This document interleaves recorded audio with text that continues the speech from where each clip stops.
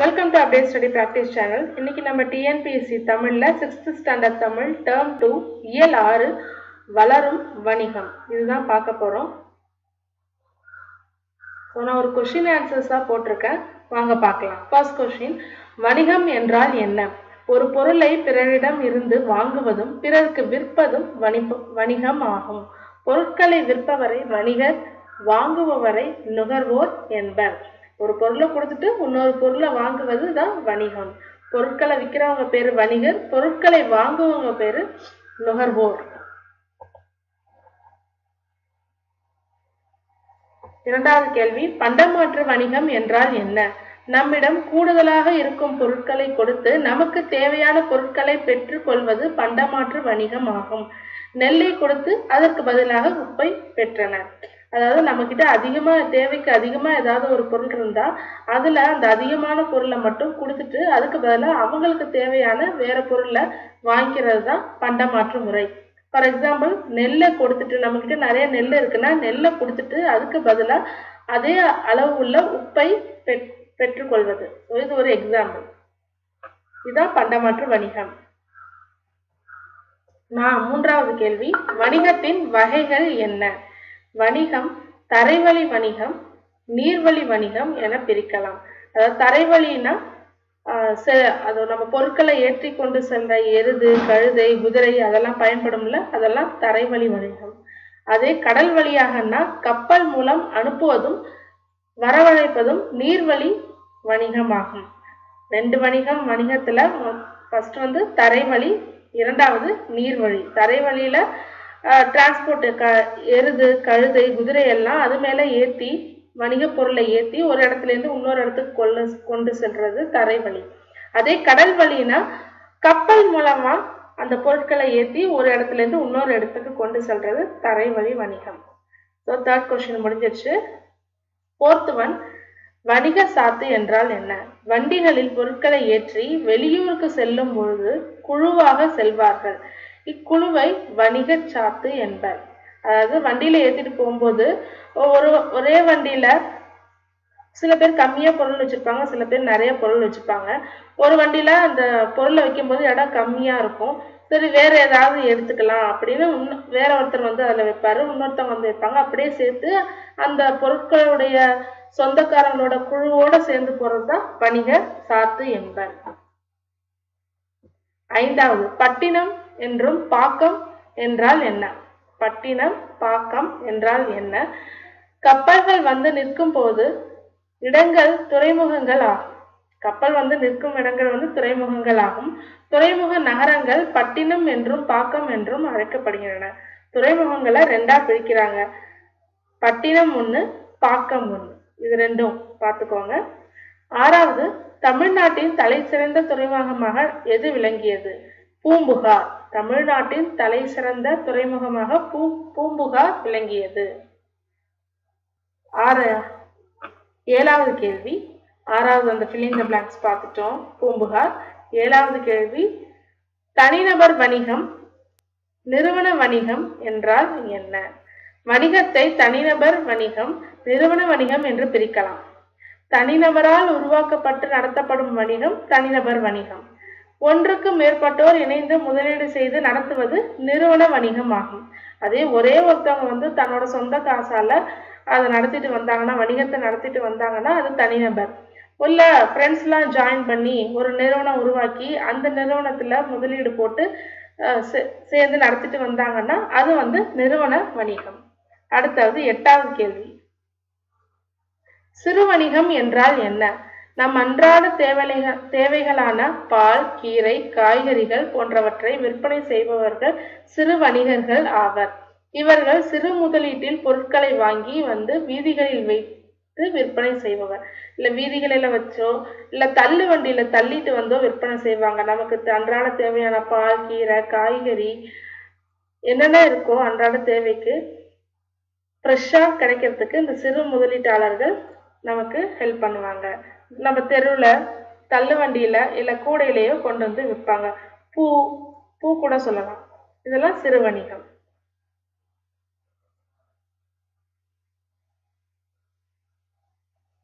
Next question பெருவணிகம் என்றால் என்ன? பெருந்தொகையை முதலீடு செய்து பொருட்களை அதிக அளவில் திரட்டி வைத்து விற்பனை செய்வது பெருவணிகம் ஆகும். பெருவணிகத்தவர் பொருட்களை உற்பத்தி செய்யப்படும் இடத்திலிருந்து மொத்தமாக கொள்முதல் செய்வார். அதாவது பெரும் வணிகம்னா பெரிய தொகையை முதலீடு செஞ்சு பணம் திரட்டி பெரிய தொகையை முதலீடு செஞ்சு ஒரு பெரிய வணிகமா வச்சிருப்பாங்க. இவங்க வந்து டைரக்டா என்ன எங்கே போய் வாங்குவாங்கன்னா உற்பத்தி செய்யற இடத்துலயே போய் டைரக்டா கொள்முதல் செஞ்சு வாங்கிட்டு வருவாங்க. அதான் பெரும் வணிகம் அடுத்தது பத்தாவது. ஏற்றுமதி இறக்குமதி என்றால் என்ன? உற்பத்தி செய்யப்படும் பொருட்களை பிற நாடுகளுக்கு அனுப்புவதும் ஏற்றுவது எனப்படும். பிற நாடுகளில் இருந்து பொருட்களை வாங்குவது இறக்குமதி ஆகும் அதாவது நம்ம உற்பத்தி செய்யற பொருளை பிற நாட்டுக்கு நம்ம அனுப்புறோம்னா அது வந்து ஏற்றுமதி. அதே நம்ம நாட்டுக்கு தேவையான பொருளை பிற நாடுல இருந்து வாங்குறோம்னா அது இறக்குமதி. பழங்காலத்தில் தமிழ்நாட்டில் இருந்து தேக்கு மயில் தொகை அரிசி சந்தனம் இஞ்சி மிளகு போன்றவற்றை பிற நாடுகளுக்கு ஏற்றுமதி செய்யப்பட்டன. அதெல்லாம் ஏற்றுமதின்னு சொல்லுவோம். அதே சீனால இருந்து கண்ணாடி கற்பூரம் பட்டு அதெல்லாம் இறக்குமதி செய்யப்பட்டன. நமக்கு நம்ம தேவைக்காக வெளிநாட்டில இருந்து நம்ம நாட்டுக்கு கொண்டு வரப்பட்டது. அதெல்லாம் இறக்குமதி. அரேபியாவில் இருந்து குதிரைகள் வாங்கப்பட்டன. இது இறக்குமதி. பதினோராவது கேள்வி. வணிகத்தின் நேர்மை திருக்குறள். வணிகத்தின் நேர்மைன்னு ஒரு திருக்குறள் இருக்கு. அதுதான் இப்ப பார்க்க போறோம். வாணிகம் செய்பவர்கள் வாணிகம் பேணி பிறவும் தம்போல் செய்யின். இது வந்து நூத்தி இருபதாவது திருக்குறள். இதை பார்த்துக்கோங்க. இதுல வணிகர்கள்ல நேர்மையை பத்தி சொல்லியிருக்காங்க. என்ன சொல்லியிருக்காங்க? வணிகர்கள் பொருளை வாங்கும் பொழுதும் உரிய அளவை விட அதிகமாக வாங்க மாட்டார்கள். பிறருக்கு கொடுக்கும் பொழுதும் அளவை குறைத்து கொடுக்க மாட்டார்கள். எனவே வணிகரை நடு நின்ற நெஞ்சினர் என்று பட்டினப்பாலை பாராட்டுகிறது. ஸோ வாங்கும் போதும் அதிகமாக வாங்க மாட்டாங்க. பிறருக்கு கொடுக்கும் போதும் கரெக்டான அதே அளவு கொடுப்பாங்க. அந்த நேர்மையை குறிக்கிறதுக்கு தான் இந்த குரல். அது மட்டும் இல்லாமல் பட்டினப்பாலையில என்ன சொல்லியிருக்காங்க? நடு நின்ற நெஞ்சினோர் அப்படின்னு சொல்லி பாராட்டியிருக்காங்க வணிகத்தவர்களை அடுத்தது பன்னிரெண்டாவது இணையவழி வணிகம் என்றால் என்ன? இதான் இப்போ ரீசண்டாக நம்ம பண்ணிட்டு இருக்கோம் கடைகளுக்கு சென்று பொருட்களை வாங்க நேரம் இல்லாதவர்கள் இணையவழி வணிகம் உதவுகிறது. இணையதளம் மூலம் பொருட்களை விற்பனை செய்யும் நிறுவனங்கள் பல உள்ளன. இவற்றில் இணையதள பக்கத்தில் நமக்கு விவரங்கள் இருக்கும். இன்று மின்னணு பரிமாற்றம் செய்யும் அளவுக்கு உயர்ந்துள்ளது. அதாவது இளைய அதாவது இன்டர்நெட் சொல்றோம்ல அதுல இப்போ இணையதளம் மூலம் நம்ம ஒரு பொருட்களை வாங்கலாம். அதுல அதுல பற்றிய குறிப்பு இருக்கும். நம்ம கம்பேர் பண்ணி எது நல்ல பொருள் பார்த்து வாங்கலாம். இல்ல நம்ம வீட்டுக்கு வந்தும் காசு வாங்கிக்கலாம். இல்ல டைரக்டா மின்னணு பரிமாற்றம் மூலமும் நம்ம காசு அதாவது பணம் செலுத்தலாம் வாங்குற பொருளுக்கு. ஸோ இதெல்லாம் இப்போ ரீசண்டாக வந்தது தான் இணையவழி வணிகம் என்றால் என்ன? இதையும் பார்த்துக்கோங்க. அடுத்தது புக் பேக் கொஷின் சரியான விடையை தேர்ந்தெடுத்து எழுதுக. வீட்டு பயன்பாட்டிற்கு பொருள் வாங்குபவர் யார்? வீட்டு பயன்பாட்டிற்கு பொருள் வாங்குபவர் நுகர்வோர். வணிகம் கூட்டல் சாத்து என்பதை சேர்த்து எழுத கிடைப்பது வணிகச் சாத்து இ ஆப்ஷன் இ பண்டம் கூட்டல் மாற்றம் என்பதை சேர்த்து எழுத கிடைப்பது பண்ட மாற்றம்.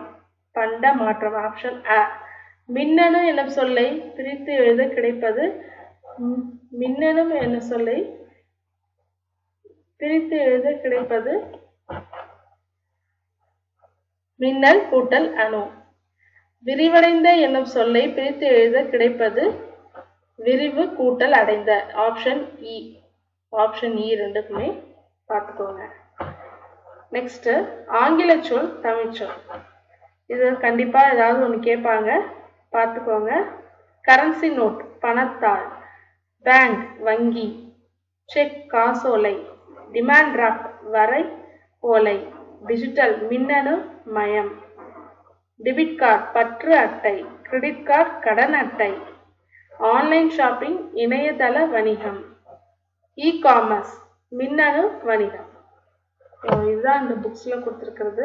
Book back questions and then இந்த கொஷின் விட்டுட்டோம். படித்த மகிழ்கள்னு ஒரு திருக்குறள் ஒரு பட்டினப்பாலையிலேருந்து ரெண்டு வரிகள் கொடுத்துருக்காங்க. இதை நோட் பண்ணிக்கோங்க.